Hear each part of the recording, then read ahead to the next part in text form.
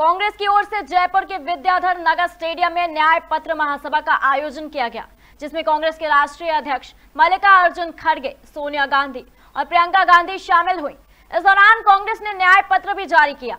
वहीं कांग्रेस के पूर्व अध्यक्ष और राज्यसभा सांसद सोनिया गांधी ने रैली को संबोधित करते हुए कहा कि वीरों और देशभक्तों के इस महान प्रदेश के प्रतिनिधि के तौर पर इस कार्यक्रम में आपके बीच आकर मुझे आप अपार गर्व हो रहा है। साथियों कभी हमारे महान पूर्वजों ने अपने कठिन संघर्ष के बल पर पराधीनता के अंधेरे में देश की स्वाधीनता के सूर्य को खोजा और पाया था। इतने वर्षों के बाद वो महान ज्योति कुछ मध्यम पड़ गई है। चारों ओर अन्याय का अंधकार बढ़ा है। हम सभी का संकल्प होना चाहिए कि हम इसके खिलाफ लड़ेंगे और न्याय की रोशनी खोजेंगे।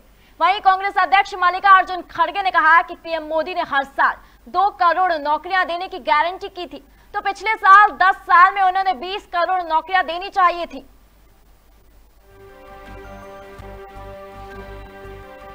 जो हमारी पाँच न्याय गारंटी है और उसके तहत 25 गारंटी हमने आपको करके देने का वायदा कर रहे हैं अगर हमारी सरकार आई, निश्चित रूप से हम सभी गारंटी को अमल में लाएँगे। हम कभी झूठ बोलने वालों में नहीं हैं।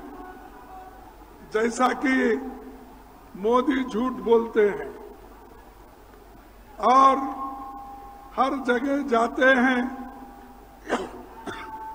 कुछ ना कुछ नया झूठ बोल के आते हैं। उन्होंने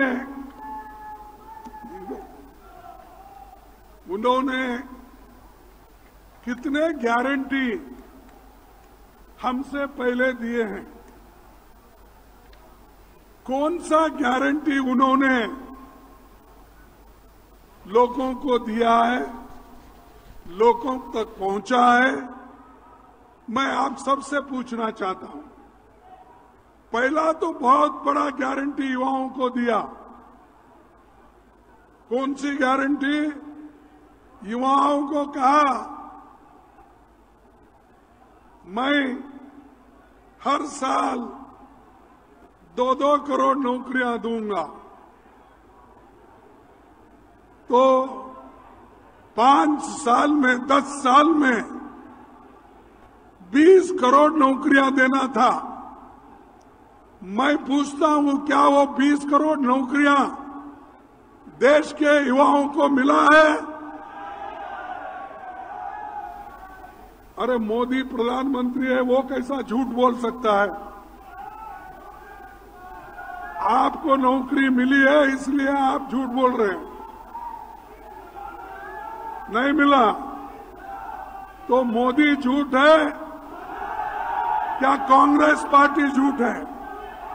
मोदी झूठ है। और दूसरी चीज़,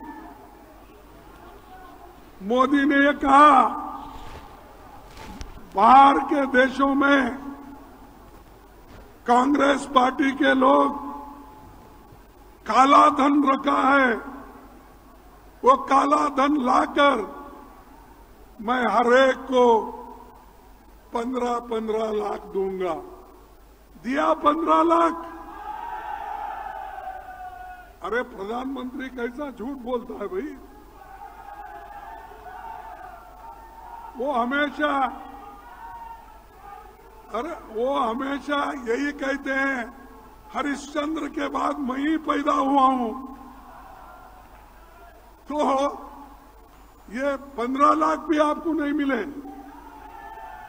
ठीक है, छोड़ दीजिए। और उन्होंने ये कहा, किसानों के लिए उनकी आमदनी दुप्पट कर दूँगा। उस किसानों की आमदनी दुप्पट हो गई है। तीसरा, चौथा उन्होंने कहा कि एमएसपी रेट हम बढ़ाएँगे किसानों के लिए। क्या उन्होंने किया?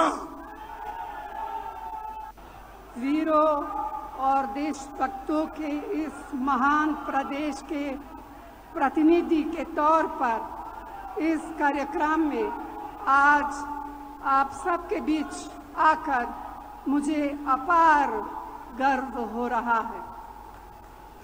साथियों, कभी हमारे महान पूर्वजों ने अपने कठिन संघर्ष के बलबूते पराधीनता के घोर अंधेरे में देश की स्वाधीन, स्वाधीनता के सूर्य को खोजा और पाया था। इतने वर्षों बाद वह महान ज्योति कुछ मध्यम पर गई है। चारों ओर अन्याय का अंधकार बढ़ा है। हम सभी का संकल्प होना चाहिए कि हम इसके खिलाफ लड़ेंगे, न्याय की रोशनी हो जाएँगे